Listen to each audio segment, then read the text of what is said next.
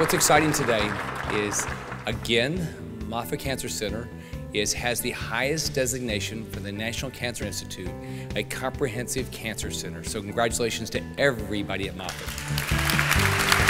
The therapies that will be standard of care tomorrow are being developed and tested at Moffitt Cancer Center today. That's the most important thing. And thank God we have uh, Moffitt Cancer Center here. And to get, again, get this designation, the top designation from uh, NCI is, is outstanding.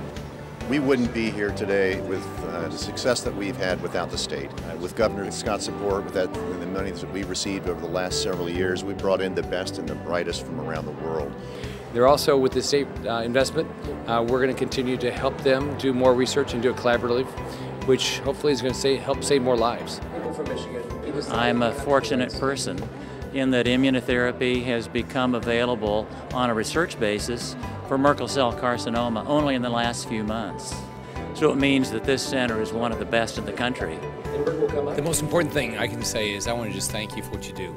All of us are impacted by cancer. Uh, there's not a family, there's not anybody that I know that's not sometime impacted by cancer. And what you do every day and the way you do it every day is unbelievably impressive.